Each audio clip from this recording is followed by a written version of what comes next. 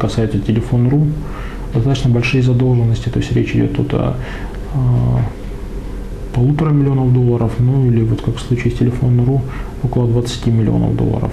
Мы занимаемся взысканием задолженности с группы компании Банана Мама. То речь идет об астрономических суммах около 2 миллиардов рублей.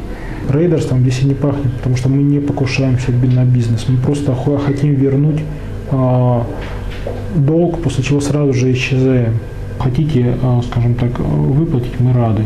Не хотите выплатить, попробуйте обезопаситься. Но на самом деле обезопаситься здесь нельзя, потому что слишком много вариантов воздействия.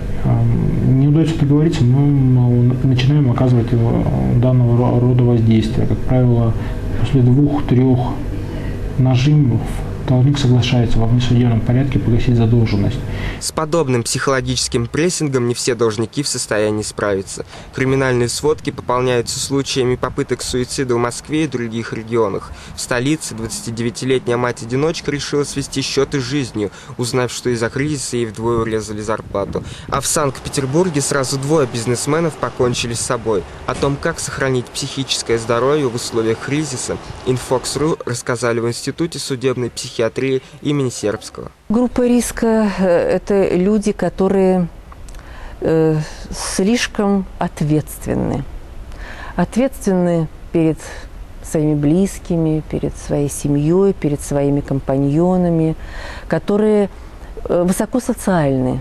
Если ты не можешь э, исправить ту ситуацию, в которой ты уже оказался, и от тебя ничего не зависит, ты должен эту ситуацию принять. Нет вариантов. Те, кто теряют работу, надо идти на биржу труда. Это первое. Это, это обычное, вот так скажем, знаете, не теряться, вот, э, что нет работы, нет жизни. Дело в том, что сегодня, э, ну так скажем, рабочих мест, правда, не очень квалифицированных или совсем не квалифицированных, все-таки очень много. Водители, рабочие заводов, фрезеровщики, электрогазосварщики, э, строительные рабочие, большим спросом пользуются, но, э, к сожалению, мало народ идет, очевидно, либо устроены, в основном приезжие идут и устраиваются на эти вакансии. Ну, зарплаты там бывают разные, допустим, от 15, бывает и 40 тысяч, и 50 тысяч. Затронулся вопрос людей с предпенсионным возрастом. Вот этих, конечно, стараются их в первую очередь, э, так сказать, высвободить. Целый Макдональдс вообще закрыли. Там больше 200 человек в этом э, Макдональдсе э, сотрудников. И я смотрю, и генеральный директор в том числе. Значит, полностью закрылась и существовать не будет.